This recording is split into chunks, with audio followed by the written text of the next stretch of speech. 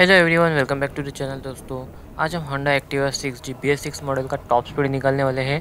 और अगर आपने इस एक्टिवा 6G का रिव्यू वीडियो नहीं देखा है तो मैं लिंक नीचे डिस्क्रिप्शन में दे रहा हूँ। और आई बटन में भी दे रहा हूँ चेक कर लेना।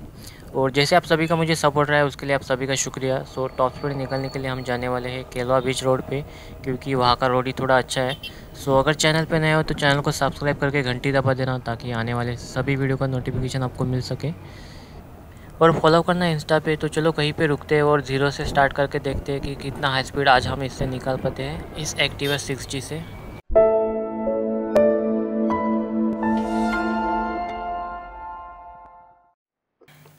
सो so, देखो दोस्तों ज़ीरो से हम स्टार्ट कर रहे हो और यहाँ पे देखो आप क्या बहुत ही बढ़िया एक्टिवा का पिकअप है। ज़ीरो से सिक्सटी तो देखो तुरंत चली जाती है।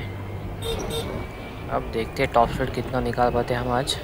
तो देखो 80 तो इजीली चली गई।